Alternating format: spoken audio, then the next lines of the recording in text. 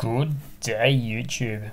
This is just a bit of a quick fun comparison video between Linux Mint 20.3 Cinnamon Edition on the left hand side and Windows 11 latest release for Windows on the right hand side.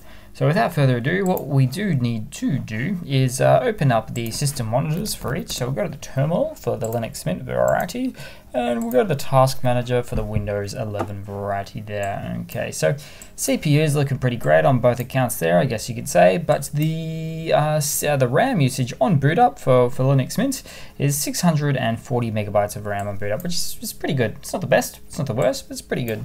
Uh, on the right hand side, we have Windows 11, so 1.7 uh, gigabytes of RAM, 1.7, so 1700 megabytes of RAM, which is just phenomenal. That's just fantastic, isn't it? So always important to know when you're dealing with netbooks and notebooks and older, P older PCs or whatever the case may have you. Maybe you're dealing with a lot of uh, really sizable apps and you just want to keep it, uh, or, or, dealing with a short amount of RAM on your machine. Uh, it doesn't even have to be a, a low power computer, just uh, missing RAM.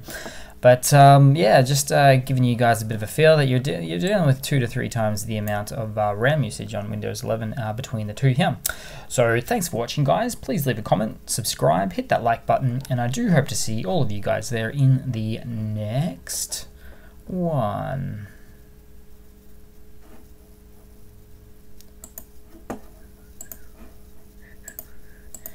Radioactive, radioactive.